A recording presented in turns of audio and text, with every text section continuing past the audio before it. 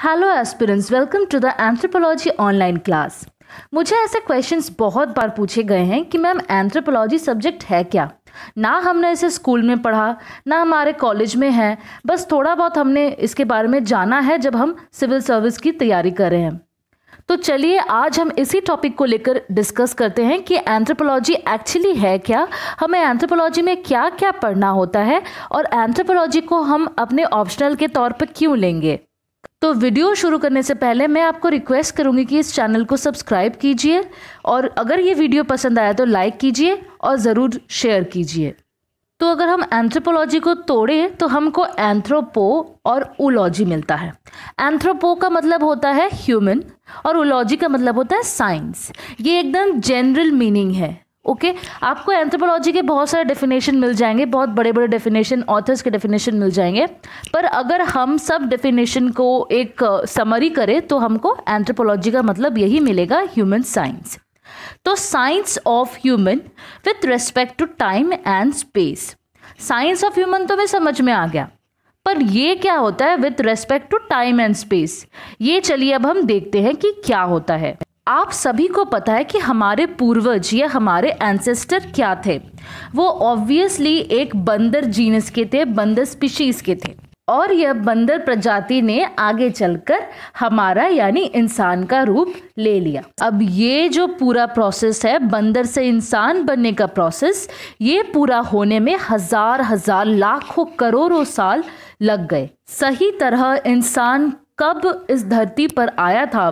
इसका कोई भी रिटर्न रिकॉर्ड नहीं मिलता है।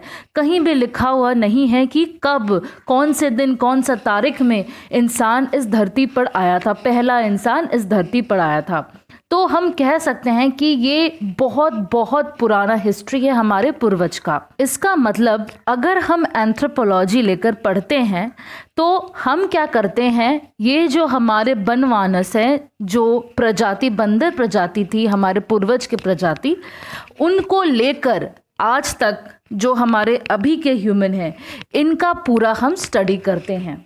अब स्टडी कैसे करते हैं? इनके टाइम को स्टडी करके। और इनके स्पेस को स्टडी करके। अब देख लीजिए कि ये एक सबसे पुराना जो फ़र्स्ट एप आया, जो फ़र्स्ट प्रजाति थी बंदर की, ये वो प्रजाति है। ये देखिए, इसके चार पैर से ये चल रहा है। तो चार पैर से चल रहा है बॉडी बड़ी है, इसका मतलब वो पेड़ के ऊपर तो नहीं रहता है, और बंदरों जैसे। ये कहाँ रहता है? ये ज़मीन पर रहता है, और नकल वॉकिंग करता है। नकल वॉकिंग मतलब ये देखिए, जैसे जिस तरह से ये अपने हाथ से चल चल रहा है, इसको कहते हैं नकल वॉकिंग अब जब इनको मौसम सताने लगी, जैसे कि ठंडियों के दिन में ठंड और गर्मियों के दिन में गर्म जब लगने लगी, तब इन्होंने क्या किया कि इन पत्थरों को इस्तेमाल किया। पत्थरों में गुफा बनाकर ये रहने लगे। पत्थरों की खासियत यही थी कि पत्थर तो इनको मौसम से बचाते ही थे।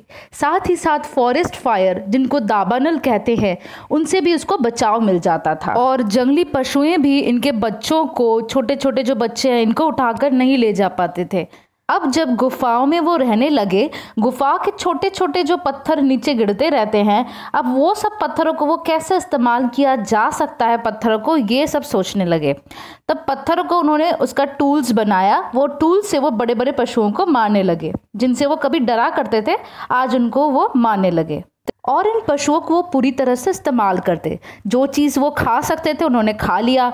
जो चीज़ वो पहन सकते थे, उन्होंने पहन लिया। और जो चीज़ वो अपने इस्तेमाल में ला सकते थे, उन्होंने इस्तेमाल में ला दिया। दिया उन्होंने ये भी देखा कि कई कई जगह ऐसे हैं जहाँ पर फॉरेस्ट फायर्स होते हैं। फॉरेस्ट फायर से वो बहुत डरा करते थे कभी। उसके बाद उन्होंने देखा कि नहीं, इसको हम इस्तेमाल कर सकते हैं। तो फॉरेस्ट फायर से उन्होंने अपने इस्तेमाल में फ़ायर ला दिया। उसके बाद से फायर को उन्होंने अपने अच्छे से काम में ला दिया जैसे कि गुफा में अंधेरा होता था तो रोशनी की ज़रूरत थी। दिन में वो काम करते थे, रात में काम नहीं कर पाते थे। तो रोशनी की बहुत ज़रूरत थी। तो रोशनी मिल गई फायर से। अब फायर में जो कच्चे कच्चे खाना वो खाते थे तो उसको पकाकर खाना स्टार्ट कर दिया उन्होंने। तो खाने का स्वाद बढ़ गया। तो देखिए, एक बात को समझिए, ये जो एक एक स्टेज है ह्यूमन का, जब वो कहीं रहते नहीं थे ग्रास लैंड में रहते थे, उसके बाद उनको शेल्टर का जो नेसेसिटी है, वो समझ में आया, वो गुफे में चले गए। गुफा में रहते हुए उसके बाद उनको समझ में आया कि नहीं, अंधेरे में हम काम नहीं कर सकते हैं। तो उसके बाद उन्होंने फायर डिस्कवरी किया, जो बहुत बड़ा इन्वेंशन था। उसके बाद जब वो शिकार करना चले गए, शिकार करने लग गए, उसके बाद जब वो कपड़े पहनने लग गए ये जो हर एक स्टेज है ह्यूमन का, ये एक ही दिन में नहीं आया। इसको बहुत साल लग गए एक एक स्टेज को आने के लिए। और जब एक एक स्टेज आता है तो पूरा कल्चरल प्रोसेस चेंज हो जाता है। जैसे कि पूरा सोसाइटी पूरा कम्युनिटी उसको एक्सेप्ट कर लेता है, उसी को, उसी की तरह रहने लग जाता है। तो ये हर एक एक एक कल्चरल प्रोसेस है। और करने वाली बात ये है कि ये जो कल्चर चेंज हो रहा है धीरे धीरे ये कल्चर चेंज के साथ साथ जियोग्राफी भी चेंज हो रहा है। ये जो अर्थ का जियोग्राफी है, पहले ग्रास लैंड उसके बाद ग्रास लैंड धीरे धीरे कम हो रहे हैं तो नॉर्मल फॉरेस्ट आ रहा है। ये जो जियोग्राफी है, ये भी चेंज हो रहा है। तो अब देखिए डिगिंग प्रोसेस डिगिंग प्रोसेस भी बहुत बड़ा इन्वेंशन है। जब उनको देखा कि नहीं, मिट्टी के अंदर भी कुछ फल पाए जा सकते हैं, कुछ चीज़ कुछ उगाया जा सकता है। ये जो डिगिंग प्रोसेस उसके बाद एग्रीकल्चर आया। एग्रीकल्चर तो बहुत इंपॉर्टेंट फ़ेज़ था ह्यूमन के लिए, क्योंकि इसमें एग्रीकल्चर में उन्होंने क्या किया? डोमेस्टिकेशन भी स्टार्ट किया साथ साथ ही। और जब एग्रीकल्चर रिवोल्यूशन हुआ, जिसको हम न्योलिथिक रिवोल्यूशन भी कहते हैं तभी समझ में आया कि स्टेपल फ़ूड क्या होता है। नहीं तो पहले पता नहीं था कि स्टेपल फ़ूड बोल के भी कुछ होता है। तो स्टेपल फ़ूड का जो कंसेप्ट है वो एग्रीकल्चर के बाद ही आया। जैसे कि मैंने बोला कि बहुत सारे जियोग्राफिकल चेंजेस भी आए हैं कल्चर चेंजेस के साथ साथ वैसे ही बहुत सारे बायोलॉजिकल चेंजेस भी आए हैं। जैसे कि ह्यूमन ब्रेन ह्यूमन ब्रेन पहले जितना वॉल्यूम का था धीरे धीरे उनका ब्रेन का वॉल्यूम बढ़ता गया। और उसके बाद जब वो ब्रेन का वॉल्यूम बढ़ रहा है साथ साथ क्या हो रहा है बायोलॉजी में भी कुछ चेंज आ रहे हैं मतलब में भी कुछ चेंज आ रहे हैं। जैसे कि पहले वो चार पैर वाले थे, अब वो क्या हुआ दो पैर वाले हो गए। ठीक है, उनका दो हाथ फ्री हो गया। पहले तो वो टेक्नोलॉजी टूल्स बनाना नहीं जानते थे, धीरे धीरे टूल्स बनाने लगे, क्योंकि उनका ब्रेन काम करने लगा। ब्रेन इंसानों के भांति काम करने लगा। और यही हमें पढ़ना होता है इवोल्यूशनरी एंथ्रोपोलॉजी में, जो कि बायोलॉजिकल एंथ्रोपोलॉजी का पार्ट है। अब यहाँ तक हमें कोई रिटर्न रिकॉर्ड्स नहीं मिलते हैं। राइटिंग स्टार्ट हुआ जब हमारा इंडस वैली आया। इंडस वैली सिविलाइजेशन एक अर्बन सिविलाइजेशन है, जैसा कि आपको पता है, जो न्योलिथिक सिविलाइजेशन के बाद आया है। चालकोलिथिक सिविलाइजेशन में आप लोग हिस्ट्री में पढ़ते हो, या यूपीएससी के हिस्ट्री में। जैसा कि यहाँ पर रिटर्न रिकॉर्ड्स पाया जा रहा है, यहाँ से हमारा आर्कियोलॉजी स्टार्ट होता है। आर्कियोलॉजिकल एंथ्रोपोलॉजी तो देखिए कॉपर एज ब्रॉन्ज एज यहाँ पर आ जाता है। और साथ में क्या आता है? बहुत सारे एविडेंसेस आते हैं, जैसे कि प्रीस्ट किंग फिर टेराकोटा उसके बाद मदर गॉडेस जो कि मोहनजोदारो में पाया गया है। तो ये सारे जो एविडेंसेस आए हैं, यहाँ जैसे पशुपति सील जो है, उसके बाद ये जो डांसिंग गर्ल है, ये सबसे हम इस हिस्ट्री का इंटरप्रटेशन कर सकते हैं आराम से। अब आप कह सकते हैं तो यहाँ तक तो ठीक है, पर हम ट्राइबल्स को लेके क्यों पढ़ाई करें? ट्राइबल स्टडी क्यों इंपॉर्टेंट है एंथ्रोपोलॉजी में? तो ट्राइबल स्टडी इसीलिए इंपॉर्टेंट है क्योंकि ट्राइबल्स को हम प्रिमिटिव पीपल के हिसाब से मानते हैं। ऐसे पीपल जिनका सिविलाइजेशन नहीं आया है, जो बारबरिक हैं, जो अनसिविलाइज्ड हैं, सभ्यता जिनमें आई नहीं है। और ट्राइबल्स को स्टडी करके ही हम हिस्ट्री के सोसाइटी को जान सकते हैं हिस्ट्री के जो कल्चर है उसको हम जान सकते हैं। तो फॉर एग्ज़ाम्पल यहाँ पर देखिए, एक इंडस वैली सिविलाइजेशन में पाया गया एक, यहाँ पर सिल रखा हुआ जिसको हम पशुपति सिल कहते हैं। तो पशुपति सिल का एक रेप्लिका अभी भी मिलता है मुर्सी ट्राइब में, जो कि अफ्रीकन ट्राइब है। तो हम कह सकते हैं, देखिए, आप इनका जो हेड डेकोरेशन है, ये देख लीजिए। तो हम ये कह सकते हैं कि सोसाइटी या कल्चर या बिलीव्स बहुत कुछ सेम था जो पहले हिस्ट्री में भी देखा गया है और अभी भी। यहाँ पर देखिए एक और एग्ज़ाम्पल है। यहाँ पर मदर गॉडेस का एग्ज़ाम्पल है जो कि मोहनजोदार में पाया गया है। और मदर गॉडेस जैसे सजी हैं, काफ़ी उसी तरह मोरलेस यहाँ पर लद्दाखी ट्राइब के एक वोमेन ने सजा है। तो हम ये भी कह सकते हैं कि ये सारे जो सजते हैं, ये सारे जो कल्चर्स है बिलीव्स हैं, ये बहुत कुछ मैच करता था। अब यहाँ पर देख लीजिए हरप्पन, टेराकोटा, यहाँ पर एक फैमिली का एक डायग्राम दिया है, जहाँ पर मेल फीमेल और उनके बच्चे हैं। और साथ में एक डोमेस्टिकेट पशु भी दिख रहा है। तो ये भी देखिए, बहुत ज़्यादा सिमिलर है, इनके डेकोरेशंस भी मसाई ट्राइब जो अफ्रीका के ट्राइब है। तो जैसे मैंने कहा कि ट्राइबल स्टडी करने से हम रिकॉन्स्ट्रक्ट कर सकते हैं हमारे पास्ट को। अब चलिए देखते हैं social anthropology social cultural anthropology human जो होता है, वो बहुत सारी चीज़ों से घिरा हुआ रहता है। जैसे कि सोशल इंस्टीट्यूशन जहाँ पर मैरिज होता है फैमिली होता है किनशिप होता है। उसके बाद traditional economic patterns and occupation जो वो ब्रेड अर्न करने के लिए रहता है, जो उसका इकोनॉमिकल पैटर्न्स जो रहता है। लैंग्वेज कल्चर जिससे वो बातचीत करता है, दूसरों के साथ कम्युनिकेशन करता है। और एक चीज़ जिससे वो डरता है, जो उसको पनिशमेंट और रिवॉर्ड का ज्ञान देता है, क्या मोरल है, क्या इमोरल है, इसका ज्ञान देता है, वो है रिलीजियन बिलीव्स जो मैजिक और साइंस भी इंक्लूड है जिसमें। इसको छोड़ के जो होता है political organization man is always a political being ये बोला था किसी ने। तो पॉलिटिकल ऑर्गेनाइजेशन भी ह्यूमन का बहुत इंपॉर्टेंट एक पार्ट है। और इन्हीं सब चीज़ों से ह्यूमन सोसाइटी बनता है। तो अगर हम ह्यूमन सोसाइटी को स्टडी करेंगे तो हमको ये सारी चीज़ों का ज्ञान रहना ज़रूरी है। अब पूरी दुनिया में कितने तरह के सोसाइटी हैं कितने तरह के रीजन हैं कहीं बर्फ़ है तो कहीं बहुत बारिश होती है कहीं सूखा पड़ा हुआ है तो बहुत तरह के रीजन्स है और हर एक रीजन की एक अपनी स्पेशलिटी है। और रीजन के साथ साथ लोगों के बायोलॉजिकल कैरेक्टर भी अलग अलग हो जाते हैं। जैसे एस्कीमो को देख लीजिए। एस्कीमो इतने नाटे होते हैं और इतने मोटे होते हैं। उनका कल्चर ही डिफरेंट होता है। हम चाहे तो उस बर्फ़ में नहीं रह पाएँगे, पर एस्कीमोस रह रहे हैं। तो इतने सारे डिफरेंट रेसेस के लोग रहते हैं पूरे दुनिया में। अब इन रेसेस को स्टडी करना भी एंथ्रोपोलॉजिस्ट का ही काम है। इन रेसेस को अगर हम स्टडी कर सकते हैं, अगर कर लिए हमने तो फिर हम क्या करेंगे? इनके कंजर्वेशन का भी हम ध्यान रख पाएँगे।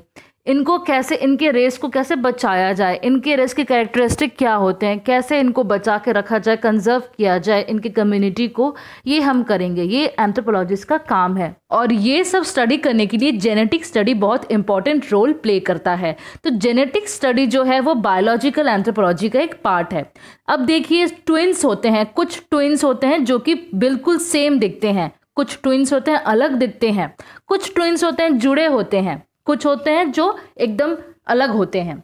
तो ये सब स्टडी करना इंपॉर्टेंट है। अब ये स्टडी कैसे किया जाए? उनके एकदम अंदर घुस के, उनका जीन स्टडी करके, उनका फर्टिलाइजेशन प्रोसेस स्टडी करके हम इनको स्टडी कर सकते हैं।